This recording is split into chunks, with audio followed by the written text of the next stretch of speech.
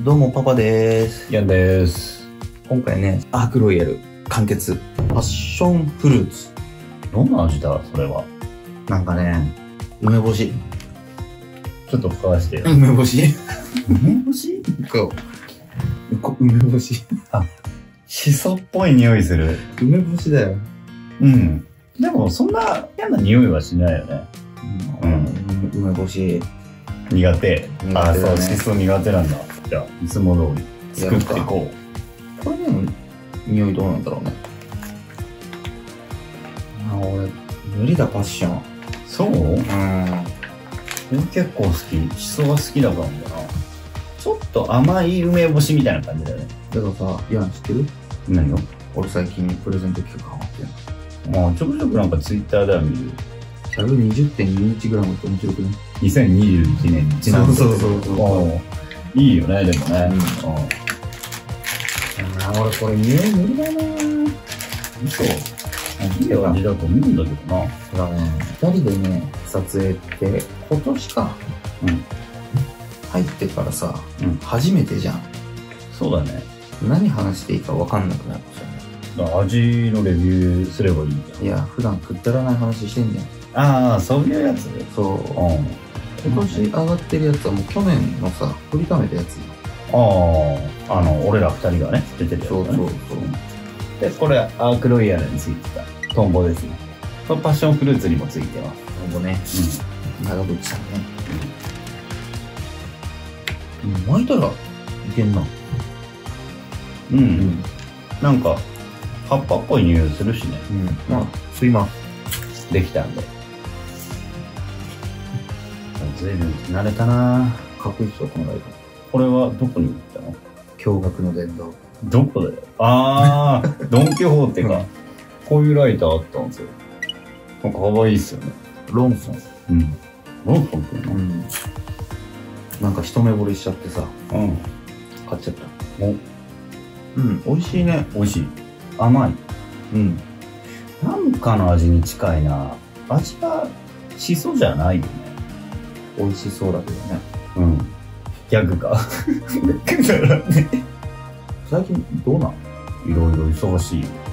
仕事といい、タバコといい。もう、あれだよね。おかげさまで登録者でね、うん。ちょくちょく増えてる。増えてるし、うん。300人超えたもん。うん。そうだよね。うん。うん。なんだかんだで。でもこのパッションフルーツ、フルーツってわけだな。うなんかねなんつったのよ。俺やっぱワインベリーかパラダイスティーだね。ああ。アークロイヤルで一番俺美味しかったのは、ピナコラーダだよ。マジで、うん。あの甘い感じがいいよ。あのバニラみたいな甘い感じじゃないじゃん。これはでも甘い感じはない。匂いはね、ちょっと甘いね。うん、甘いけど、うん。でもやっぱアークロイヤルはやっぱ後に来るな。あ後味？後味にこのからに来る。基本はなんかタバコの味って感じ。うん全部ね。このパッションフルーツもそうだし。でもさ、タバコでうまいって言ったらさ、うん。あれ美味しかったよね。1本150円。あー、あれはね。あれ、プレゼント企画しちゃったから。あー、世界一高いタバコ。うん、そう。おー、いいじゃん、いいじゃん。でもこれ上がる頃にはもう抽選されてもう手元にはない。あー、そっかそっか。ううんん。フィルター買って買ったよな、あれ。カチカチやで。そうだよな。根元まで吸っても、あれ、苦くないもんね。そう、味が変わんないんですよ。あれね、当選して吸ってくれる方ね、はい。多分感動するよね。そうだね。うん。興味がある方はね、あの、買ってもらうといいんで。まあ、3000円でちょっと高いですけどね。ケースもアルミだもんね。うん、ある。うん。タバコケースにはいいよね。ああ、そうそうそう。だから手巻きを作って入れるんだよね。うん。いいよね。うん、いい。